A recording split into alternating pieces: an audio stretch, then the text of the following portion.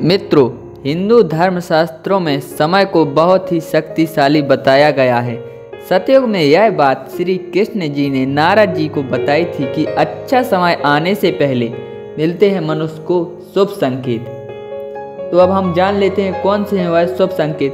तो वीडियो में आगे बढ़ने से पहले जो लोग हमारे चैनल पर नए आए हैं, वो प्लीज़ चैनल को सब्सक्राइब करें, वीडियो को लाइक करें और ज़्यादा से ज़्यादा अपने फ्रेंड्स के साथ शेयर करें। ऐसे ही रोज़ाना नए नए भक्तिमय धार्मिक भजन, वीडियो देखने एवं सुनने के लिए शुभ अशुभ संकेत, टोटके, ज्ञान की बातें जानने के लिए। मित्रों, आप लोगों की जानकारी के लिए बता दूँ मैं, बिल्ली, कुत्ता और कौवा, ये तीन ऐसे पशु पक्षी हैं जिनको स्वयं भगवान दैत्य, दानव और आत्माएँ नज़र आती हैं। ये स्पष्ट रूप से उन सबको देख सकते हैं। आज मैं आपको बताऊँगा, अगर आपके घर के अंदर बार बार बिल्ली दस्तक देती है या आती है तो क्या संकेत दर्शा रही है? आपके जीवन में क्या घटित होने वाला है? बिल्ली आपको बताना चाह रही है। अगर दोस्तों, आपके घर से बिल्ली कुछ सामान चोरी करके ले जा रही है तो समझ लेना आपकी ज़िंदगी खुशी से भर जाएगी, क्योंकि वो आपके घर का दुख दर्द हर कर ले जाती है।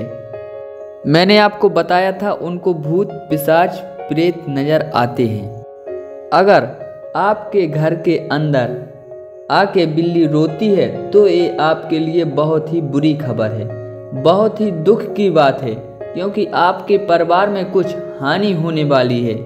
उसको आपके घर में कुछ ऐसी चीज़ें नज़र आ रही हैं, जो आपके लिए बहुत ही हानिकारक हैं।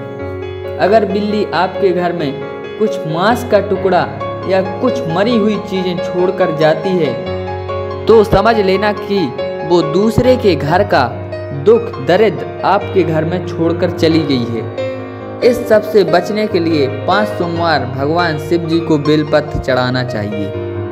अगर बिल्ली आपको पावन त्योहारों जैसे दीपावली, महालक्ष्मी, दशहरा पर अगर बिल्ली आपको नज़र आती है तो ये बहुत ही शुभ संकेत हैं। यानी आपके घर में माँ लक्ष्मी आ गई हैं। तो यही थे दोस्तों बिल्ली से जुड़े कुछ संकेत। ऐसे ही संकेत जानने के लिए हमारे चैनल को सब्सक्राइब कर लें भक्तों।